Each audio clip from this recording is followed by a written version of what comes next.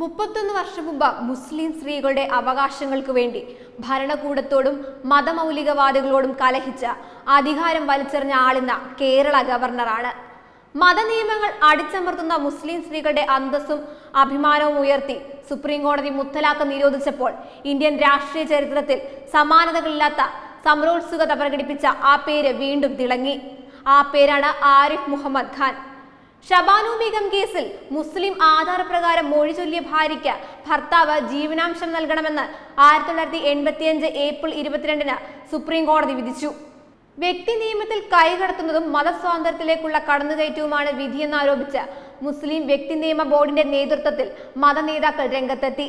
പാർലമെന്റിലും മൃഗീയ ഭൂരിപക്ഷം ഉണ്ടായിരുന്ന രാജീവ് ഗാന്ധി സർക്കാർ കോടതി വിധി മറികടക്കാൻ നിയമനിർമ്മാണം നടത്തി മതമൗലികവാദികളെ പ്രീണിപ്പിച്ചു. പ്രധാനമന്ത്രിയോടും പാർട്ടിയോടും എതിർപ്പുയർത്തി ആയിരത്തി തൊള്ളായിരത്തി എൺപത്തി ആറിൽ ആരിഫ് മുഹമ്മദ് ഖാൻ കേന്ദ്രമന്ത്രിസ്ഥാനം രാജിവെച്ചു. കേന്ദ്രമന്ത്രിസ്ഥാനം ഉപേക്ഷിക്കുമ്പോൾ മുപ്പത്തിനാല് വയസ്സ് മാത്രമായിരുന്നു ആരിഫിന്റെ പ്രായം.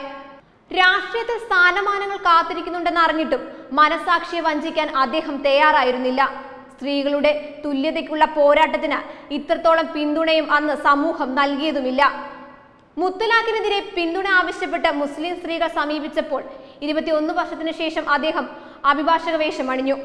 ചരിത്രപരവും സ്ത്രീ സമൂഹത്തിന് അനീതിക്കെതിരെ പോരാടാൻ ആത്മവിശ്വാസം നൽകുന്നതുമാണ് മുത്തലാഖ് നിരോധിച്ച സുപ്രീം കോടതി വിധിയെന്നായിരുന്നു ഈ കേന്ദ്രമന്ത്രിയുടെ പ്രതികരണം. മുസ്ലിം സ്ത്രീകളുടെ ജീവിതത്തിന് മുകളിൽ ഏത് നിമിഷവും പതിക്കാവുന്ന വാളായിരുന്നു മുത്തലാഖ്. എപ്പോൾ വേണമെങ്കിലും ഭർത്താവിന്റെ വീട്ടിൽ നിന്നും പുറത്താക്കപ്പെടുമെന്ന അവരുടെ ഭീതിയാണ് ഇതോടെ ഇല്ലാതായതെന്നും ആരിഫ് മുഹമ്മദ് ഖാൻ പറഞ്ഞിരുന്നു. ഷബാനു കേസിൽ രാജീവ് ഗാന്ധി സർക്കാർ സ്വീകരിച്ച നിലപാടിൽ പ്രതിഷേധിച്ചാണ് ആരിഫ് മുഹമ്മദ് ഖാൻ രാജിവെച്ചത്. മുസ്ലിങ്ങളെ പരിഷ്കൃതരാക്കേണ്ടത് കോൺഗ്രസിന്റെ പണിയല്ലെന്ന് മുൻ പ്രധാനമന്ത്രി പി വി നരസിംഹറാവു പറഞ്ഞതായി ആരിഫ് മുഹമ്മദ് ഖാൻ വെളിപ്പെടുത്തിയിരുന്നു. കോൺഗ്രസ് സാമൂഹിക പരിഷ്കർത്താക്കളുടെ പാർട്ടിയല്ലെന്നും മുസ്ലിങ്ങൾക്ക് ഗട്ടറുകളിൽ കഴിഞ്ഞാൽ മതിയെങ്കിൽ ആയിക്കോട്ടെ എന്നും പറഞ്ഞ് മുൻ പ്രധാനമന്ത്രി പി വി നരസിംഹറാവു ആണെന്നായിരുന്നു ആരിഫ് മുഹമ്മദിന്റെ പ്രതികരണം. ഭർത്താവ് മുഹമ്മദ് അഹമ്മദ് ഖാൻ മുത്തലാഖ് ചൊല്ലി ഒഴിവാക്കിയതിനെതിരെ മധ്യപ്രദേശിലെ ഇൻഡോർ സ്വദേശിയായ ഷബാനു എന്ന അറുപത്തിരണ്ടുകാരി തുടങ്ങിവെച്ച നിയമ പോരാട്ടങ്ങളാണ് ഷബാനു കേസ്. ഷബാനുവിന് ജീവനാംശം നൽകാൻ ഭർത്താവ് ബാധ്യസ്ഥനാണെന്ന് ആയിരത്തി തൊള്ളായിരത്തി എൺപത്തി ആറിൽ കേസിൽ സുപ്രീം കോടതി വിധിച്ചു. ഇതിനെതിരെ മുസ്ലിം പുരോഹിതരും രംഗത്ത് വന്നിരുന്നു. ഈ സാഹചര്യത്തിൽ വിധിയെ മറികടക്കാൻ അന്നത്തെ രാജീവ് ഗാന്ധി സർക്കാർ മുസ്ലിം വിമോചന നിയമം പാസാക്കി. ഈ നിയമം അനുസരിച്ച് വിവാഹമോചനം നേടിയ മുസ്ലിം സ്ത്രീകൾക്ക് ഖുറാൻ അടിസ്ഥാനപ്പെടുത്തിയുള്ള ഇദ്ദ അനുഷ്ഠിക്കേണ്ട തൊണ്ണൂറ് ദിവസത്തേക്ക് ജീവനാംശം കൊടുക്കാൻ മാത്രമേ ബാധ്യസ്ഥതയുള്ളൂ. ഈ വിധത്തിൽ മുസ്ലിം സ്ത്രീകളെ മൊഴി ചൊല്ലുകയും അവർക്ക് ജീവനാംശം നൽകാതിരിക്കുകയും ചെയ്യുന്നതിനെതിരെയാണ് സെറാബാനു എന്ന സ്ത്രീ സുപ്രീം കോടതിയെ സമീപിക്കുന്നത്. രണ്ടായിരത്തി പതിനേഴ് ഓഗസ്റ്റ് ഇരുപത്തിരണ്ടിന് സുപ്രീം കോടതി മുത്തലാഖ് ഭരണഘടനാ വിരുദ്ധവും മനുഷ്യാവകാശ ലംഘനവുമാണെന്ന് വിധി പറഞ്ഞു. തുടർന്ന് ഇക്കാര്യത്തിൽ നിയമനിർമ്മാണം നടത്താൻ കേന്ദ്ര സർക്കാരിനോട് നിർദ്ദേശിച്ചു. ഇതിന്റെ അടിസ്ഥാനത്തിൽ നരേന്ദ്രമോദി സർക്കാർ കൊണ്ടുവന്ന നിയമമാണ് മുത്തലാഖ് നിരോധന നിയമം. മുത്തലാഖ് നിരോധനത്തെ കോൺഗ്രസ് എതിർത്തപ്പോൾ ഷബാനു കേസിൽ നിന്നും പാർട്ടി ഒരു പാഠവും പഠിച്ചില്ലെന്നായിരുന്നു ഇദ്ദേഹത്തിന്റെ പരാമർശം.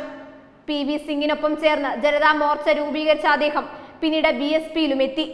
മുത്തലാഖ് നിരോധനത്തോടെയാണ് ആരിഫ് മുഹമ്മദ് ഖാൻ ബി ജെ പിയുമായി കൂടുതൽ അടുത്തത്. മുത്തലാഖ് ക്രിമിനൽ കുറ്റമാക്കിയ കേന്ദ്ര സർക്കാരിന്റെ നടപടിയെ പിന്തുണച്ച ഇദ്ദേഹം രംഗത്തെത്തിയിരുന്നു. സാധാരണ മുസ്ലിങ്ങൾക്ക് ഭാരതത്തിൽ ഒറ്റപ്പെടുന്നെന്ന തോന്നലില്ലെന്നും അഥവാ അങ്ങനെയൊരു തോന്നലുണ്ടെങ്കിൽ അത് മുസ്ലിങ്ങളിലെ വരേണ്യവർഗത്തിനുള്ളതെന്നും മുൻ കേന്ദ്രമന്ത്രി കൂടിയായ ആരിഫ് മുഹമ്മദ് ഖാൻ പറഞ്ഞിരുന്നു. അന്യവൽക്കരണം സംഭവിക്കുന്നുണ്ടെങ്കിൽ അതിനു കാരണം മുസ്ലിങ്ങൾ തന്നെയാണെന്നും അദ്ദേഹം ചൂണ്ടിക്കാട്ടിയിരുന്നു.